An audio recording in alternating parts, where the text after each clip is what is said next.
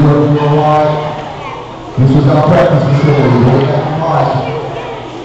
We made the goal, we were going to go to, to Cali, and we were going to win. I'm so proud of you guys, they did. I'm real proud of my parents as well. Incredible effort to get us there. We washed cars, we did breakfast things and apple, apple eatings, we did all kinds of stuff. Real special thanks goes out to Orleans County, He's not here today, to uh, Warner Dubuque, and a very special thanks to my girl, Ms. Deborah Williams. Let's give it to you guys.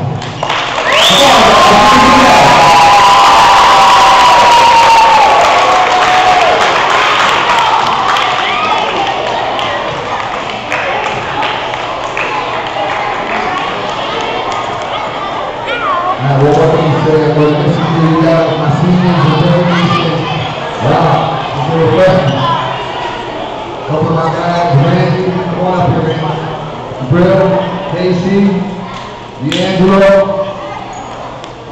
Steve, he's a senior too.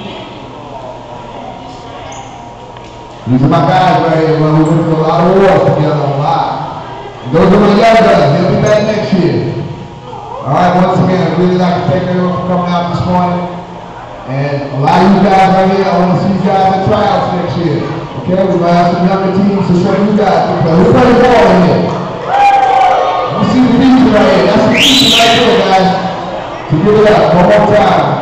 Real big thanks to these guys. They work real hard. Thank you for having me. Thank you.